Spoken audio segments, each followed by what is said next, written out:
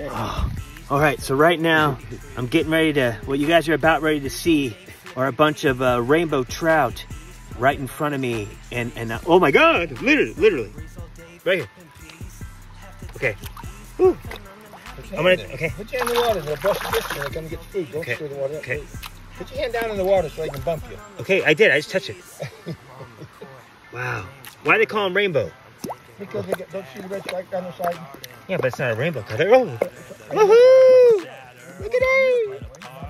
I just petting him. Woohoo!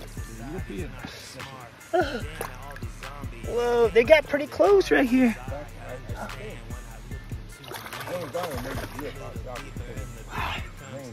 This is amazing. New Zealand. Wow.